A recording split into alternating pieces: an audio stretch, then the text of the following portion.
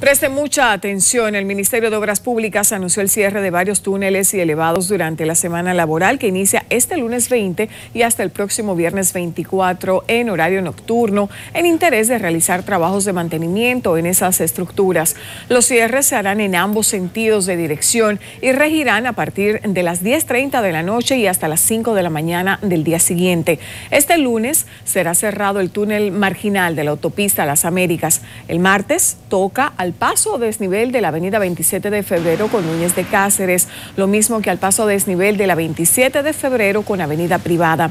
Este último también será cerrado la noche del próximo miércoles.